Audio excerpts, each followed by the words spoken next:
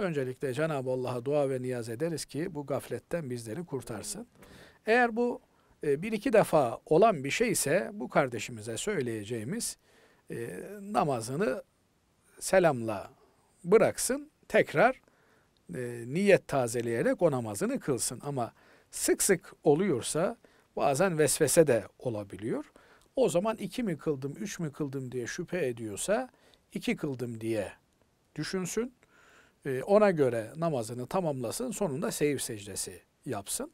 Ama zaman zaman söylediğimiz bir şey var. Uzun zamandır da söylemedik Basri Hocam. Şunu tekrar etmekte fayda var. Namaz bizim dünyadaki varlık sebebimiz. Namazı düzgün ve düz, doğru kılmak zorundayız. Binaenaleyh namazı yalap şalap kılamayız. Namazı doğru mu kılıyoruz? Kıraatımız doğru mu? Okumamız yerinde mi diye mutlak surette bir check-up yaptırmamız lazım. Gidelim camimizin imamına, hocam iki dakikanı rica edebilir miyim? Beş dakikanı rica edebilir miyim? Ben şurada bir iki rekat namaz kılayım da. Hatta bir abdest alayım da. Sen bir abdestime bak. Abdestim abdest mi? Namazım namaz mı? Okumam okuma mı? Bu namazla e, ibadet kabul olur mu olmaz mı? Böyle bir check-up yaptırmaya ihtiyacımız var.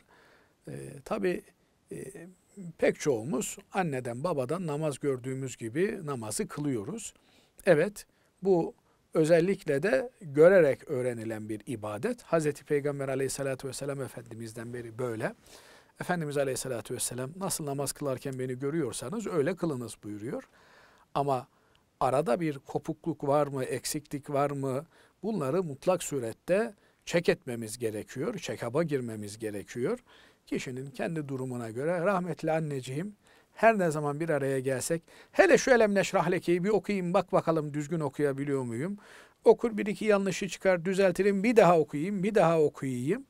Niye? İşte 80 sene önce ezberlemiş, 70 sene önce ezberlemiş.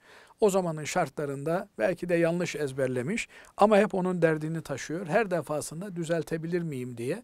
Belli yaştan sonra tabii dil dönmüyor. Ee, insan ezberlediklerini değiştiremiyor. Ama onun derdinde olmak lazım, gayretinde olmak lazım, çabasında olmak lazım.